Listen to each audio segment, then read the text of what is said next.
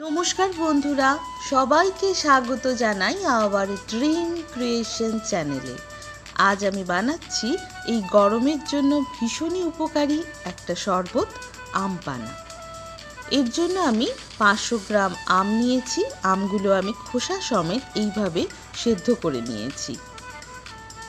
আম সেদ্ধর জলটা আমি আলাদাভাবে ছেঁকে রেখে দিয়েছি। নিয়েছি পঞ্চাশ গ্রাম ফ্রেশ পুদিনার পাতা। পাঁচশো গ্রাম আমের জন্য আমি পাঁচশো গ্রাম চিনি নিয়েছি। আপনারা স্বাদ অনুযায়ী চিনি নিতে পারেন। নিয়েছি two tablespoon dry roast করা জিরে, দুই ইঞ্চি আদা, হাফ চা চামচ গোটা গোলমরিচ, দু টেবিল স্পুন মৌরি, স্বাদ অনুযায়ী বিট নুন, পাঁচ ছটা গোটা এলাচ।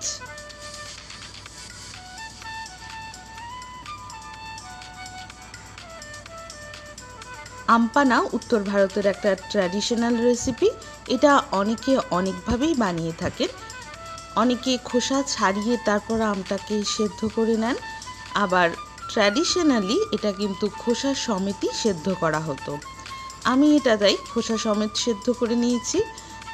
খোসা সমেত সেদ্ধ করা আমগুলোর শাঁস অংশটা আমি একটা চামচের সাহায্যে এইভাবে খুব সহজেই স্কুপ আউট করে নিচ্ছি। খোসা সমেত সেদ্ধ করার জন্য এই আমপানার মধ্যে খুব সুন্দর একটা আমের গন্ধ আমরা পাবো।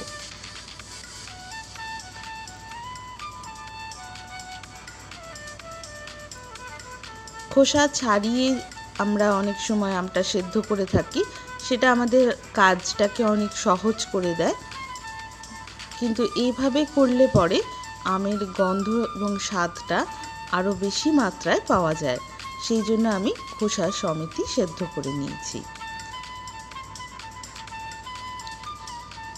আমপানাটা বানাবার জন্য আমি একটা স্টিলের তলাপুরু পাত্র নিয়েছি। আপনারা কোনো স্টিল বা হার্ড অ্যানোডাইজড পাত্রই ব্যবহার করবেন। অ্যালুমিনিয়ামের পাত্রে যেন আমপানা বানাবেন না।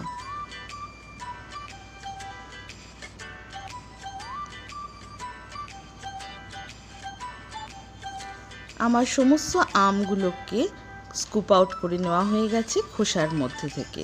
এবার আমি একটা হাতার সাহায্যে আমগুলোকে ভালোভাবে ম্যাশ করে নিলাম। এবং এর সাথে মিশিয়ে দিলাম পাঁচশো গ্রাম পরিমাণ চিনি।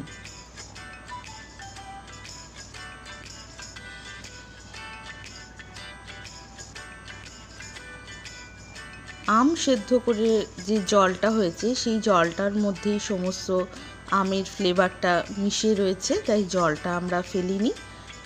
জলটা আমি এখন এই আমের শাঁস এবং চিনির সাথে ভালোভাবে মিশিয়ে রেখে দেবো। যতক্ষণ না চিনিটা খুব ভালোভাবে গলে যায়।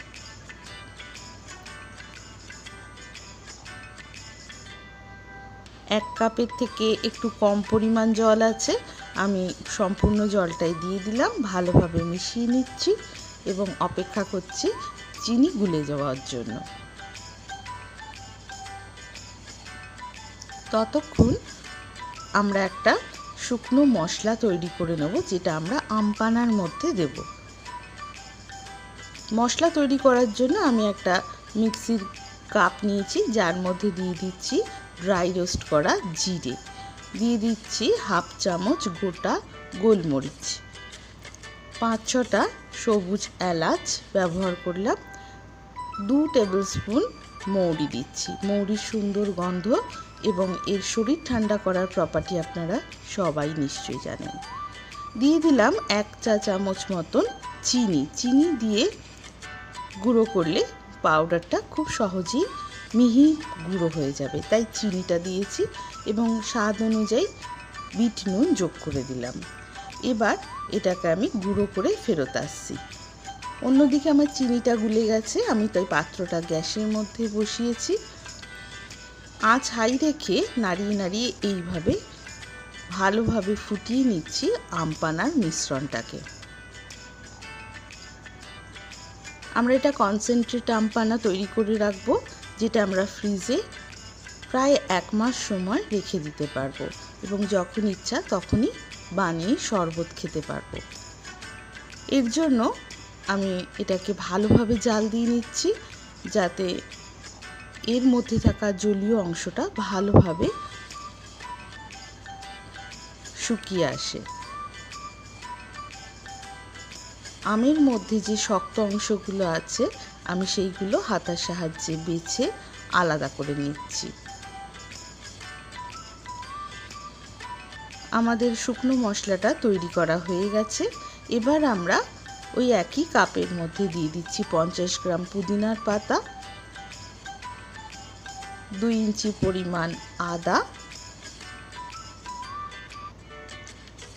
আবারও অল্প একটু চিনি দিচ্ছি যাতে খুব সহজেই ভালো একটা মিশ্রণ তৈরি হয়ে যায়।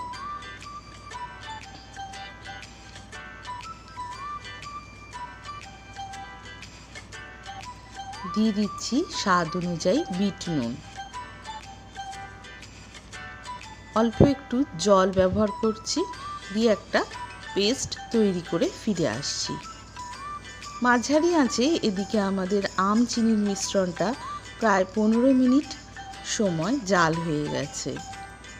মিশ্রণটা অনেকটাই গাঢ় হয়ে এসছে। এবার আমি এর মধ্যে দিয়ে দিচ্ছি পুদিনা এবং আদার পেস্টটা। ভালোভাবে মিলিয়ে নিচ্ছি। আরও খানিক্ষণ সময় আমি এটাকে জাল করে নেব। দিয়ে দিচ্ছি আমাদের ড্রাই রোস্ট করা সমস্ত মশলার মিশ্রণটা। ভালোভাবে মিশিয়ে নিয়ে লো আছে আরও পাঁচ থেকে দশ মিনিট সময় ভালোভাবে জাল করে, ঠান্ডা করে একটা মিক্সির জারের মধ্যে এটাকে ঢেলে খুব ভালোভাবে স্মুথ একটা পেস্ট তৈরি করে ফেরত আসছি।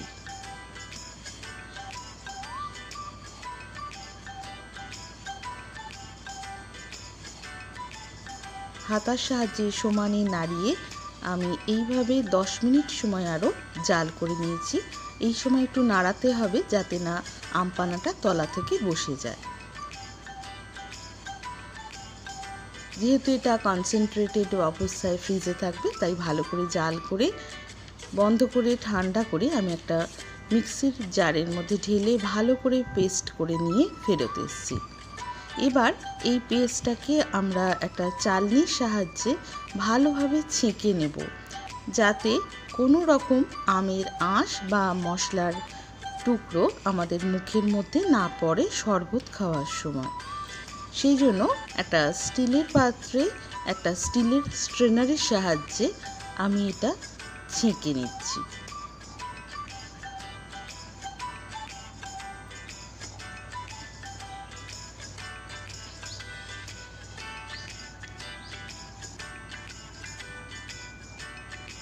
স্প্যাচুলার সাহায্যে নাড়িয়ে নাড়িয়ে এইভাবে আমি আমপানাটাকে ছেঁকে নিলাম।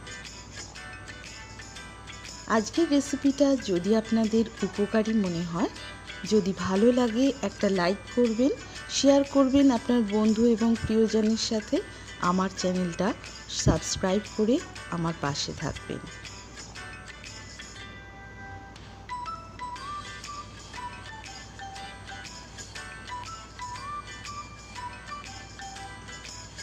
তৈরি হয়ে গেছে কনসেন্ট্রেটেড আমপানা।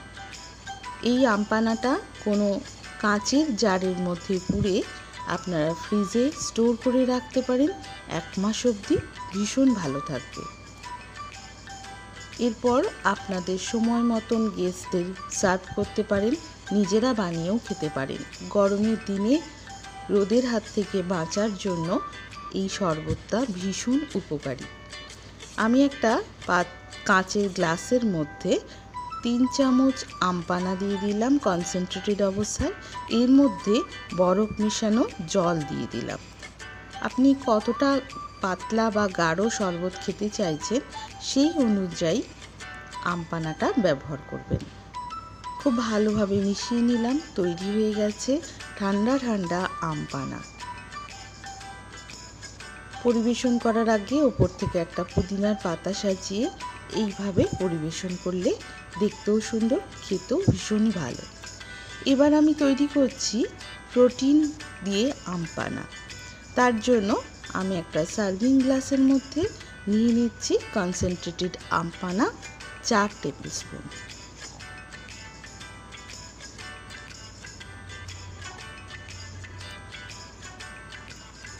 এর মধ্যে আমি এবার দিয়ে দিচ্ছি এক টেবিল স্পুনের থেকে একটু বেশি ছাতু। ছাতু হাই প্রোটিন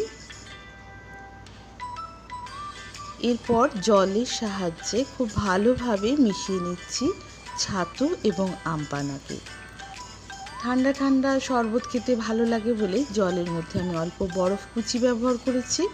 আপনারা ইচ্ছা করলে প্লেন জলেও শরবতটা তৈরি করতে পারেন। খুব ভালোভাবে মিশিয়ে নিলাম।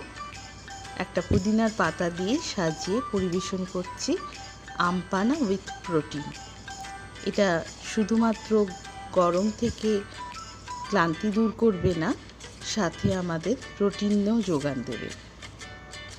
অল্প ছাতু মেশানোর জন্য এই শরবতটা খানিক্ষণ পেটও ভরায়। খুবই উপকারী যে কোনো রকমভাবে বানিয়ে খান, বাচ্চাদের খাওয়ান। সবাই খুব ভালো থাকুন। দেখা হবে পরের দিন নতুন কোনো পর্ব নিয়ে।